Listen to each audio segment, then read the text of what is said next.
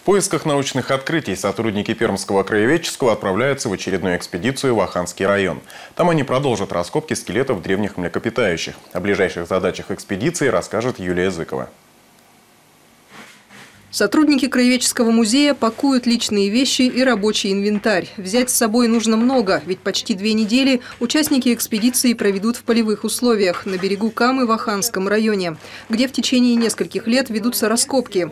Ученые постепенно извлекают из толщи почвы останки древней фауны, самый крупный представитель которой – трогантериевый слон. Он более мощный, чем его потомок – мамонт. Части скелета ископаемого животного сейчас хранятся в Краеведческом музее. Это фрагменты бивня, ребер, черепа и зубов. Находки слонов трогантериевых очень редки. В Пермском крае скелет найден впервые. К нашему удивлению оказалось, что это вот два разных слона, э, что было для нас неожиданностью.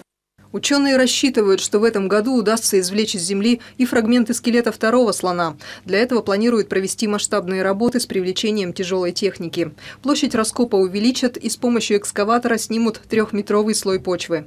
Сроки экспедиции все-таки ограничены, поэтому мы приняли решение сделать эти грубые скоростные работы с помощью специальной техники, и потом уже оставить такой резервный слой, и его уже выбрать э, как бы лопатами непосредственно физической силой, и уже тогда уже выйти на уровень залегания находок.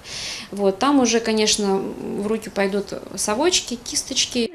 Сотрудникам Пермского музея присоединятся и специалисты из Института географии Российской академии наук, чтобы в комплексе изучить условия обитания древних животных. Как всегда, на месте раскопок развернут полевую лабораторию. Фрагменты скелетов будут обрабатывать химическими препаратами, которые позволяют сохранить находки.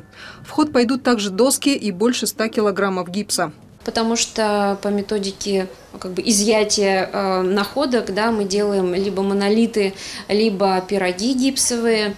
Это такие приспособления, когда кость безболезненно транспортируется с места раскопа в город, да, то есть она не разрушается, то есть это позволяет герметично ее упаковать и доставить в город. Экспедиция продлится с 4 по 18 июля, а насколько будут успешны ее результаты, вскрытие покажет, говорят музейщики. Юлия Зыкова, Михаил Ситров, телевизионная служба новостей.